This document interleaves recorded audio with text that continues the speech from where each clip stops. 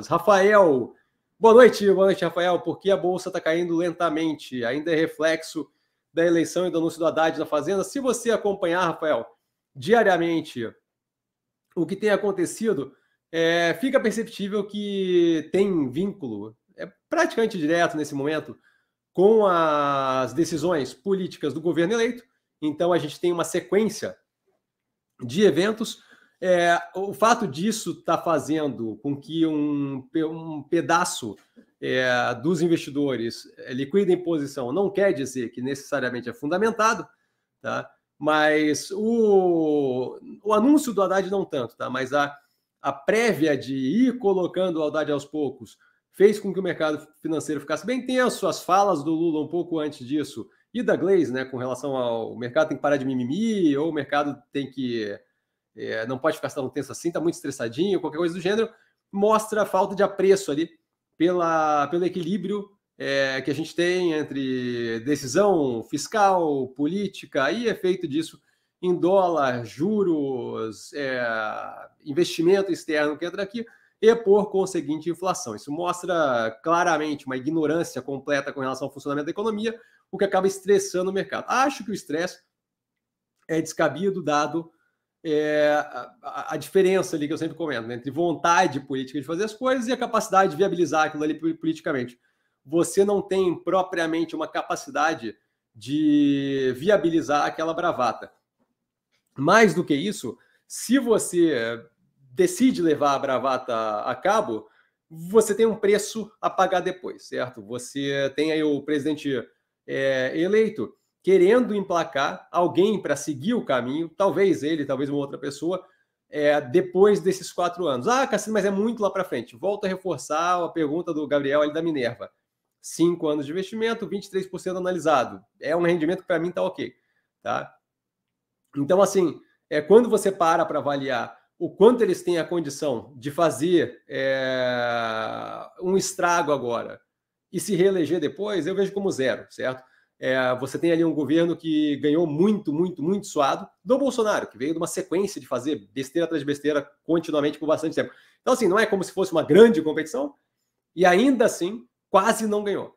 Tá? É, com risco institucional e o caramba. E ainda assim, quase não ganhou. Então, assim, é, a gente tem um cenário bem casado de quanto pior eles fizerem nesse momento, quanto menos é, responsabilidade de demonstrarem. Quanto mais populismo for jogado à frente, mais difícil fica ganhar a próxima eleição, certo? Então, você pode, sim, ter um governo menos positivo agora e tomar na cabeça daqui a pouco, tá? Ou até um processo de impeachment no meio do caminho.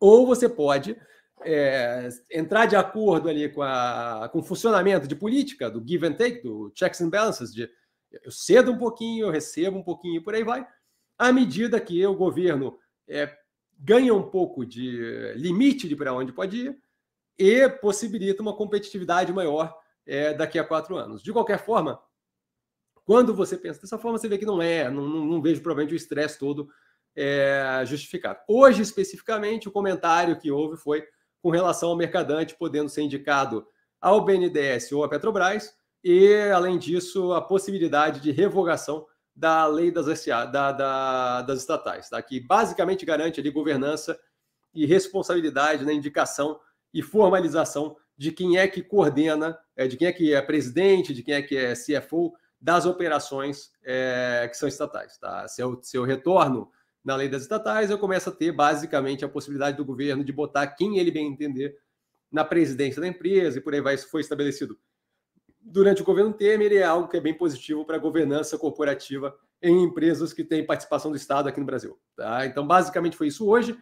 Volto a reforçar: vontade política e capacidade de viabilizar duas coisas consideravelmente diferentes. Ergo, porque eu não vejo a necessidade do estresse é, excessivo que a gente tem no mercado hoje em dia. Tá? Rafael, como se portar diante dessas quedas lentas que sugam a paciência? Você usa alguma estratégia para suportar esse tipo de situação? Então, eu não tenho qualquer problema com ativo ter queda, tá? É, a ideia, essa é uma coisa que eu não entendo no mercado.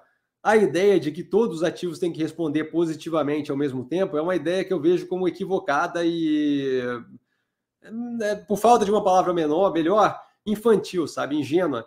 É, essa, essa preocupação toda com como está rendendo o portfólio como um todo é uma preocupação boba.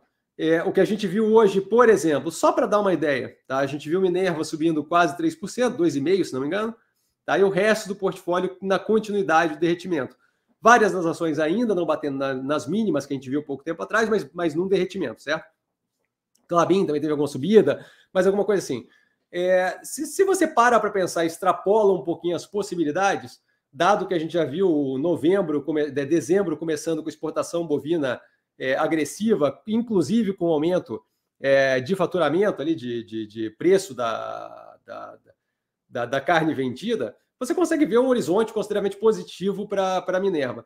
Esse horizonte, refletindo no preço, que, diga de passagem, nesse momento de tensão, se aproveita do dólar mais alto, me, trans, me coloca numa situação onde eu tenho um pedaço do portfólio derretendo e um ativo que deve atingir preços bem positivos. Eu não sei onde é que é negativo eu eventualmente, com preços mais altos de Minerva, trocar Minerva nas máximas e comprar pulverizando do portfólio nas mínimas. Eu, eu vejo isso como muito positivo médio e longo prazo, certo? Eu estou basicamente fazendo o que, o que o, aquela, aquela chamada clássica da bolsa de valores, certo? Estou vendendo na máxima e comprando na mínima. Só estou comprando e vendendo ativos diferentes. Mas a ideia de que é negativo, porque eu tenho pro portfólio como um todo uma situação mais negativa. A ideia de que é negativo eu liberar capital de uma alocação de grande porte que eu tenho que é Minerva, em níveis de preço muito altos, e realocar em ativos financeiros que estão com as, com as mínimas históricas deles, eu não vejo qual é, onde é que está a negatividade disso. Para mim é uma baita de uma oportunidade. Não vai ser a história para contar no churrasco da firma, por quê? Porque você vai parecer um otário no curto prazo.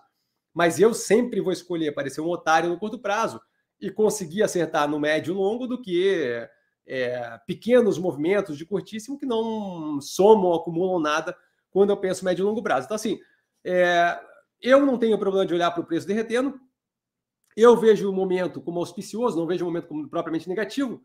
É, o exemplo aqui que eu dei da, da Minerva. Então, assim, eu, eu, eu não estou propriamente incomodado, tá? É, especialmente quando se faz uma leitura do cenário como um todo, se você vê custo político envolvido, só um gole d'água aqui.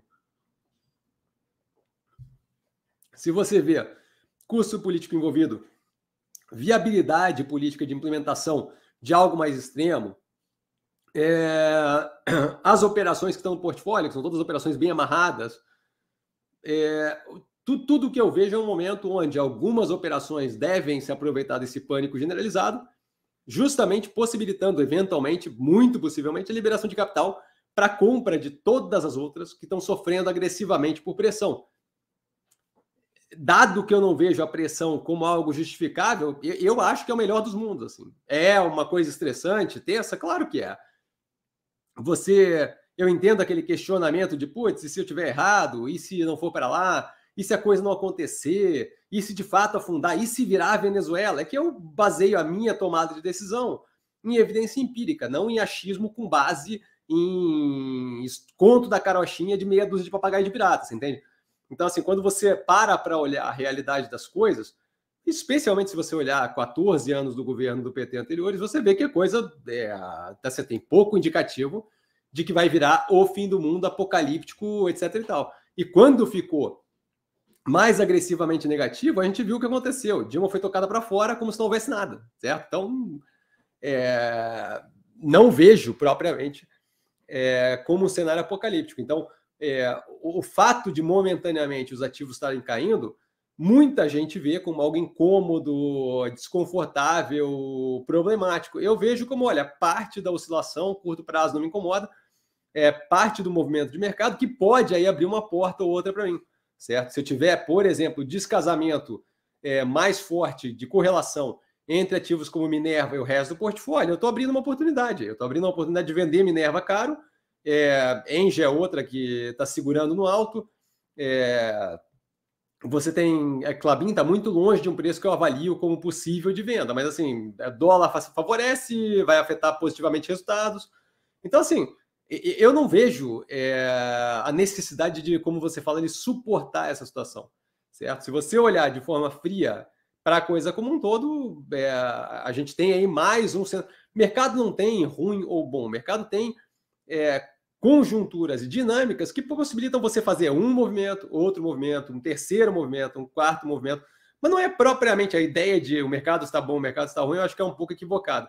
Tá? Então, assim, se você não aguenta olhar para aquilo, e isso eu reforço várias vezes, tem uma live aqui daquele O Corpo Explica, é, com a Laís, tá, tá, no canal, vale a pena assistir.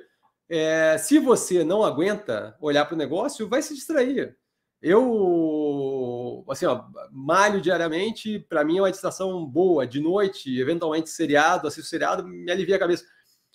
Você, assim, ó, não vai mudar o resultado do mercado você ficar assistindo o mercado de perto e vendo a ação cair ou subir, certo? Se você não aguenta, se você não tem estômago para aquilo, não tem nenhuma vergonha, simplesmente fazer qualquer outra coisa, não precisa ficar observando o mercado o tempo todo, certo?